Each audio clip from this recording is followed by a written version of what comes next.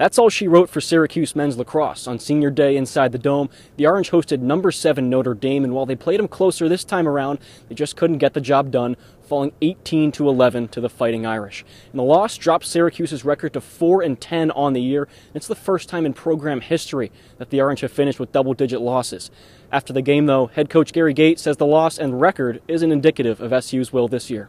Unfortunately, the record is what it is and, and kind of defines our year.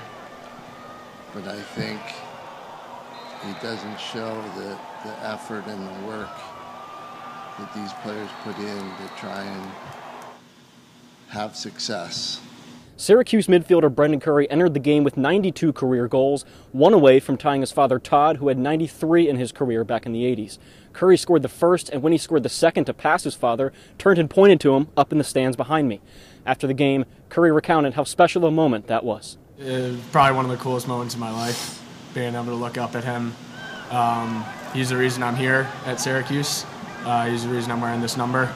Um, and uh, he's taught me everything I know about the game. So to be able to look up at him and you know share that moment in my last game ever um, was was extremely extremely cool and, and something I'll definitely remember about this game for the rest of my life. Today's game marks SU's last for the 2022 season. The Orange will miss the postseason for the first time since 2007.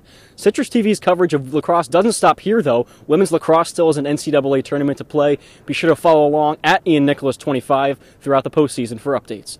Reporting from the Dome, Braden Reed, Citrus TV.